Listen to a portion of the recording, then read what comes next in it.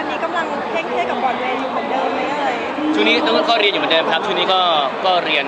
หนักเหมือนกันครับอาทิตย์หนึ่งก็เมื่อก่อนอาทิตย์ละ6วันเดี๋ยวนี้เหลืออาทิตย์ละ4ี่ห้าวัน แล้วเพราะว่าต้องมาเตรียมเตรียมงานคอนเสิร์ตเทเนียซอฟเลิฟเลยเตรียมซิทคอมบ้างละครบ้างเตรียมงานเพลงบ้างก็เลยจะลดเวลาออกมานิดนึงครับอืมในส่วนของละครเวทีนี้ขึ้นหน้าไปถึงไหนแล้วครับพี่ตอนนี้ละครเวทีเราผมผมกลับมาทำงานที่เมืองไทยครับแล้วก็ประมาณกลางปีหน้า ถ้าทุกอย่างเอ่อสำเร็จถ้าเกิดว่าการดีลการติดต่อลงละครหรือว่า process ต่างๆสำเร็จกลางปีหน้าผมจะกลับไปอีกทีหนึ่งคราวนี้ก็ไปเล่นประมาณ 3 เดือนครับไปเล่นที่ต่างเมืองก่อน เพื่อที่เป็นการเช็คกระแสหรือว่าสร้างเครดิตเครดิตให้กับเอ่อละครเวทีของเราก่อน แล้วก็ถ้า 3 เดือนปีหน้าเนี่ยถ้าเกิดผ่าน ก็ต้องไปต่อคิวเข้าบรอดเวย์ทีหนึงอืมจะไปเล่นที่เมืองไหนบ้างคะพี่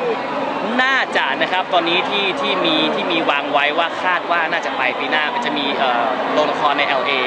แล้วก็ซีแอตเทิลสองสองที่ แต่ก็เราก็ไม่แน่ว่าถึงเวลานั้นเนี่ยโรงนั้นจะเต็มหรือว่าอย่างไรก็ตามเดี๋ยวใกล้ๆเวลาก็เดี๋ยวจะมา confirm อีกทีหนึ่งที่กลับมารับงานเยอะขนาดนี้เพราะแบบทดแทนช่วงที่หายหน้าไปเลยหรือเปล่า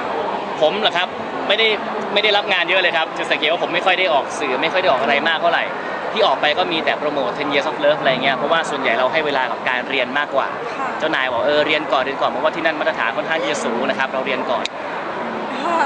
นะความรักก็เหมือนเดิมเนาะไม่ตอบเหมือนเดิมเป๊ะพี่ผู้ไม่เคยตอบเรื่องความรักแหม่มแหม่มมีนะเวลาเราเจอแหม่มแหม่มเนี่ยเราก็เออลองลองลองคุยดูแต่ว่า เราคุยกับเขาไม่รู้เรื่องนะครับ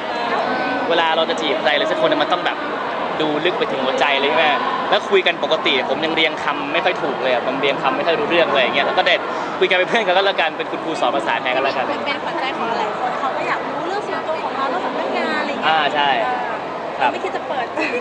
ไม่เปิดผมเปิดทุกเรื่องอะยกเว้นเรื่องแฟนนั่นแหละครับว่าจะแต่งเมื่อไหร่ถึงออกแต่งคำสามครับ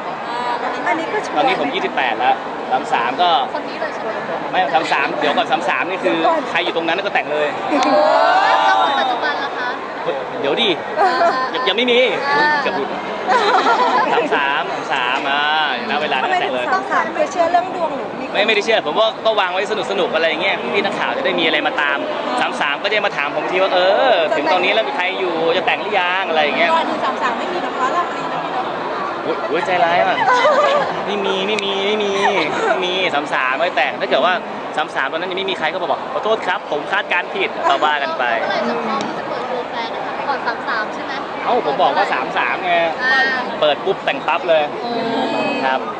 คุณพ่อคุณแม่อยากรู้เรื่องส่วนตัวพี่บีบ้างไหม คุณพ่อคุณแม่ก็แซวขำๆนะครับ เวลามีข่าวมีอะไรอย่างเงี้ยน่าก็จะแซวสนุกสนุกๆมากกว่า ได้เล่าเรื่องส่วนตัวให้ครอบครัวฟังบ้างไหมคะปกติไม่ค่อยเล่าอะครับ แต่ท่านก็จะแย่จะเล่นอะไรเงี้ยท่านจะเป็นห่วงเรื่องแบบความเหนื่อยเมื่อยล้าในการทำงานเนี่ยทำงานหนักนะแล้วก็จะคุยเรื่องตลกสเปเฮล่ากันซะมากกว่า ถามแม่ของลูกนี่ต้องเป็นยังไงคะ เป็นยังไงก็ได้ครับ ขอให้เข้ากันได้ก็พอ เราก็ไม่ได้มีสเปคอะไรเรื่องมากนะครับผมวันนี้ผมก็ยี่แปดแล้วผมก็เจออะไรมาค่อนข้างเยอะ อันนี้ขอคนที่เข้าใจเราได้ก็โอเคแล้วเดี๋ยวอันนี้ตอบอะ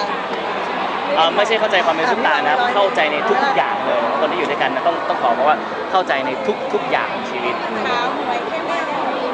ได้หมดเลยได้หมดเลยยังไงก็ได้ครับรูปลักษณ์ภายนอกก็จริงๆผมว่ายังไงก็ได้นะ แต่ว่าแบบ ภายในเนี่ยก็ก็สำคัญอะนี่ไม่ได้ตอบแบบหล่อนะผมก็รู้สึกอย่างนั้นจริงๆอะถ้าเกิดว่าเราเลือกคนที่แบบสวยสวยสวยสวยสวยสวยอย่างเงี้ยแต่ว่าแบบเข้ากันไม่ได้ทะเลาะกันตลอดหวงไอ้นี่สวยเหลือเกินเดี๋ยวออกไปเที่ยวข้างนอกเมื่อไหร่จะกลับบ้านเนี่ยเอ๊ะดึกแล้วหน้าอะไรเงี้ยก็จะแบบเป็นทุกข์ใจซะมากกว่าเนาะแต่ก่อนแกก่อนได้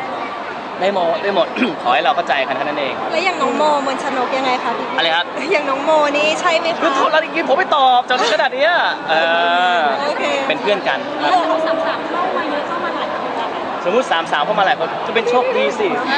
เราก็ได้เลือกไงใช่ไหมเราก็เป็นผู้ชายแล้วเราก็ได้เลือกก็ว้าวเลยสิน้องโมนี่เข้าใจพี่ไหมคะอะไรนะครับน้องโมเข้าใจพี่ไหมเข้าใจแบบเพื่อนกันครับเอ